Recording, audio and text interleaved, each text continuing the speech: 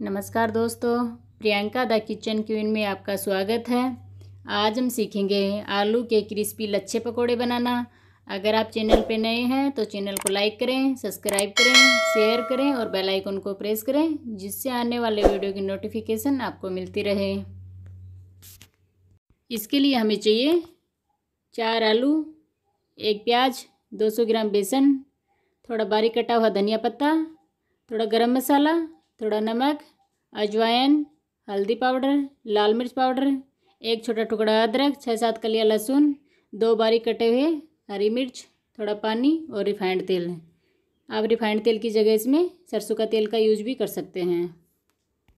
इसके बाद में हम आलू को साफ़ पानी से वॉश कर लेंगे। वॉश करने के बाद में हम इनका छिलका उतार लेंगे। छिलका उतारने के बाद में आलू और प्याज को हम पतले और लंबे स्लाइस में कट कर लेंगे। आप जितना पतला और लंबा स्लाइस में कट कर सकते हो, उनको कर सकते हैं। इस प्रकार से हमने आलू, प्याज को पतले और लंबे स्लाइस में कट कर लिया है।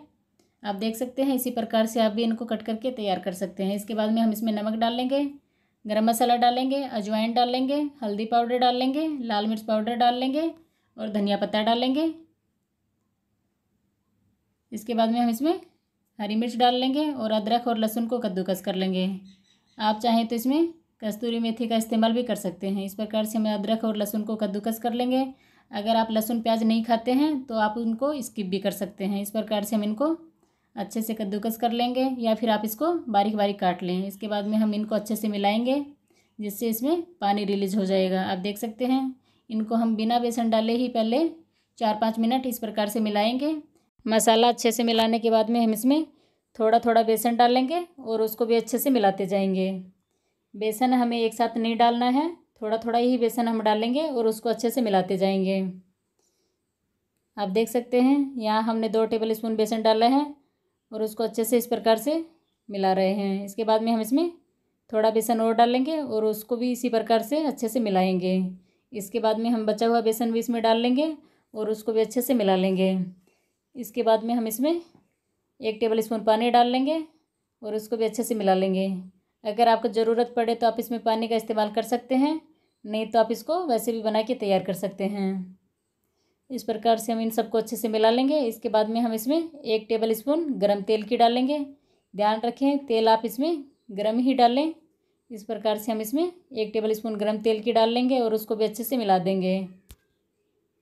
इसके बाद एक पैन में हम तेल गरम कर लेंगे। तेल मीडियम गरम होने के बाद में हम इसमें इस प्रकार से पकौड़े फ्राई करने के लिए थोड़ा थोड़ा मिश्रण डाल लेंगे और इसको हम लो मीडियम फ्लेम पे ही पकाएँगे। अगर हम इसको डायरेक्ट हाई फ्लेम पे पका देंगे तो पकौड़े अंदर से कच्चे रह जाएँगे और बाहर से वो पके हुए दिखेंगे। इस प्रकार से हम इसको लो मीडियम फ्लेम पे डार्क ब्राउन कलर आने तक फ्राई कर लेंगे। इसी प्रकार से हम इसको पलट पलट के चारों तरफ़ से डार्क ब्राउन कलर आने तक फ्राई करेंगे।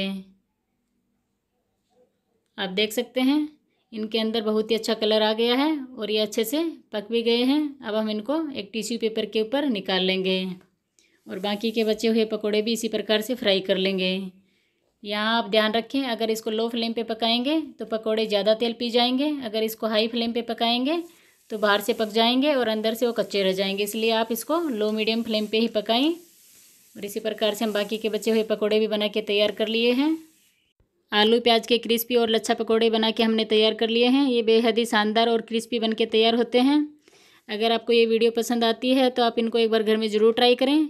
ये पकौड़े सबको बहुत पसंद आते हैं। इनको आप चाय के साथ, टोमेटो केचप के साथ, हरी चटनी के साथ, किसी के साथ भी सर्व कर सकते हैं।